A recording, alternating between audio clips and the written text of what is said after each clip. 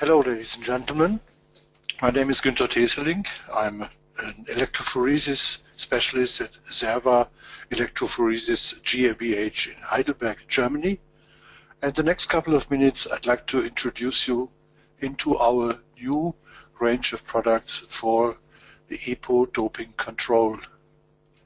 EPO blood doping is one of the most often used uh, doping um, chemistry, doping technology uh, to increase performance of sports people around the world. And the International Anti-Doping Association has developed a method to control the EPO misuse and the use of EPO for doping involving isoelectric focusing and SDS electrophoresis. And since Serva is a specialized company in this area, uh, we try to offer convenient products for the two methods for EPO doping control. Why electrophoresis for EPO doping control? Well, natural EPO differs from recombinant EPO by the length of the carbohydrate chains, whereas the amino sequence is identical. The reason for that is um, that the recombinant EPO is grown in an, another uh, type of uh, cells, not in human cells, uh, but in animal cells, and therefore the carbohydrate chain is different. Recombinant and natural EPO show different running speeds in SDS page due to the different size of the molecule. And the difference in glycosylation leads to different isoelectric points of the isoforms, and therefore can be separated by isoelectric focusing. Immunodetection after blotting, for instance, pressure or electrotransfer, allows secure detection of EPO isoforms. Erythropoietin variations available on the market. You see there is a long list of different commercially available EPO uh, drugs for medication of patients. Uh, of course, these uh, commercially available drugs are not produced for doping, but a vast minority of the amount of uh, EPO produced for therapeutical purposes is misused for doping. Here, a picture of an SDS page uh, done by Dr. Sven Voss from the Sports University in Cologne in Germany, and it shows the different um, running um, distances of the different uh, species, of the different EPO products, and uh, com in comparison to the unmodified, the original uh, human uh, EPO. And this picture shows that with the technology called SDS page, you can separate and discriminate between natural and recombinant EPO products. There was a publication uh, in 2012 by the group of Christian Reichel from the WADA Laboratory uh, in, in Austria, and uh, this was um, showing that the variation differentiation uh, was easily possible using a dedicated modified isoelectric focusing method combined uh, with electroblotting and immunodetection.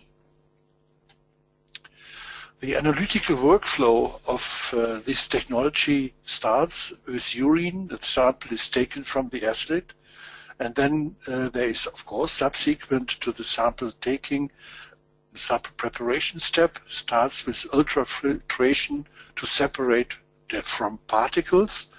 Um, and then the next step is an antibody-based EPO enrichment, a pretty complex method to increase the concentration uh, of EPO in the sample to make it possible to detect it. Uh, the next step um, is a so-called SAR page for screening or isoelectric focusing as a reference for positive screening results or vice versa.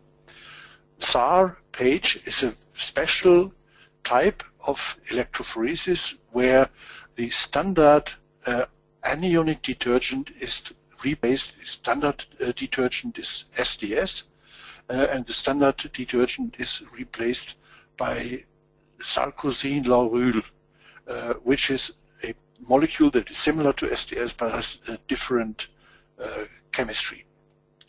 The next step then is the transfer from the electrophoresis gel to a blotting membrane, and that can be done by electroblotting or press blotting. And finally, the EPO is detected uh, using antibody labeling and chemoluminescent detection and evaluation.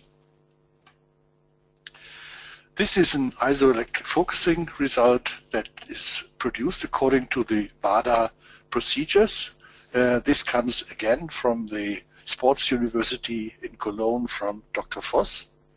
And it shows the different EPO variations um, and the bands, the so-called uh, isoelectric focusing bands uh, that are standing for the different isoforms of the EPO molecules.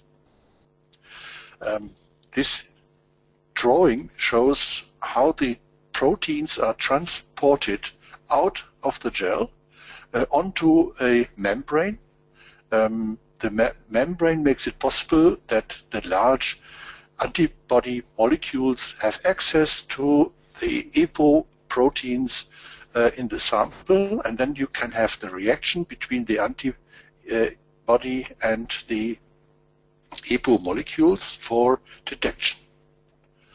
Um, pressure blotting is an alternative to electroblotting, and pressure blotting uh, is a method that uh, safely works uh, and gives at least as good results as electroblotting and doesn't require any electroblotting equipment. The material involved is a membrane first. In this case, it's a PVDF membrane with a pore size of 0.2 micrometer. Um, this membrane is also available from Serva, and uh, here you have the order number for the membrane. Then we have a blotting buffer.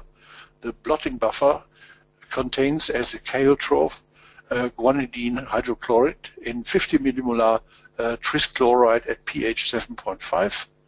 Uh, we also need blotting paper and um, here you have the specification of the blotting paper and the size. The protocol is pretty simple. Um, post electrophoresis gel equilibration, three minutes in blotting buffer, and then membrane equilibration, approximately 50 seconds in 2 propanol, then dipped in blotting buffer.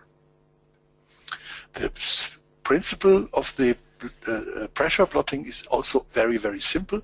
You have the blotting sandwich and you put a, a defined weight on top of the sandwich and then the the G force, the weight of the of the five the five kilos in this case, um, they create a capillary effect. So the water is pressed pressed out of the gel, and the water is then um, flooding the proteins out of the gel, and then they can stick to the membrane.